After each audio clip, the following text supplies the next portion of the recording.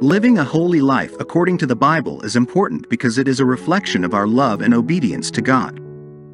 It also sets us apart as His followers, influencing non believers to see the goodness of God and desire to know Him. A holy life involves following God's commands, avoiding sin, and pursuing righteousness.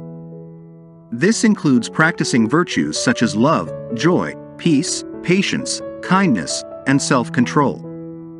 The Bible also calls for holiness in thoughts, words, and actions, and for living in accordance with God's will and purpose.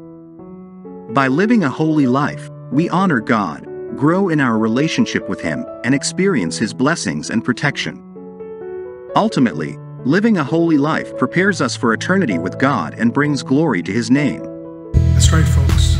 When you live a holy life, you bring honor to God and His holy kingdom.